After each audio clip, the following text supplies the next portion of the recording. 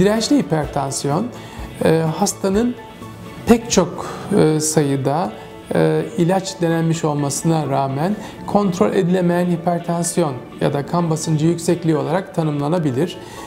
Genellikle de birisi idrar söktürücü olmak üzere en az 3 ilaç ile kan basıncı eğer yeterince kontrol edilemiyor ise dirençli hipertansiyondan söz ediyoruz. Ve son yıllarda bu tür hipertansif hastalarda yani kan basıncı yüksek olan ve ilaçla kontrol edilemeyen hastalarda böbrek damarlarına gelen sinirlerin e, düşük enerjili radyo dalgası sistemiyle yakılması veya e, küntleştirilmesi şeklinde e, bir tedavi uygulanıyor. Buna renal denervasyon diyoruz tıbbi adıyla.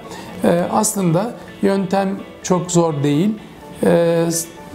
Kasıktan atar damara girilerek böbrek damarına ulaşılıyor ve e, böbrek damarının içinden başından sonuna kadar damarın duvarındaki sinirler e, çok düşük enerjili e, radyo dalgalarıyla küntleştiriliyor ya da tahrip ediliyor ve bundan sonra hastaların daha az ilaçla ya da bazen ilaçsız kan basınçlarının kontrolü mümkün olabiliyor. Son zamanlarda e, çok farklı cihazlar üretildi bu amaçlar için ve bu e, cihazların e, her birinin başarılı olduğu iddia ediliyor.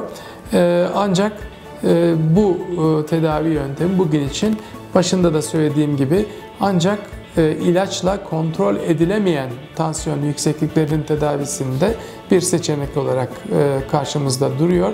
Eğer e, ilaçlarla kan basıncı yeterince kontrol ediliyor ise bu tedavi yönteminin e, düşünülmemesi gerekiyor.